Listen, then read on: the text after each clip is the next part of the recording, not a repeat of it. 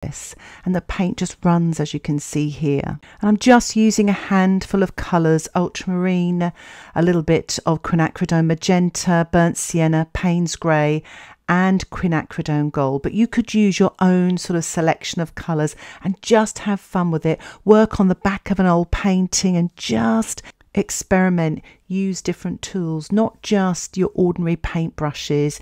Use plastic cards, some salt, and a little bit of tilting. I'm just painting the sky now, wet in wet, with some ultramarine with a large flat brush, and I'm tilting and spritzing to get the paint moving. And now the painting is dried, I'm applying some more details here with the card, wet on dry. I am now applying some soft artist pastels here. You can use crayons, anything you have to create some colourful lights and finishing off with a spatter.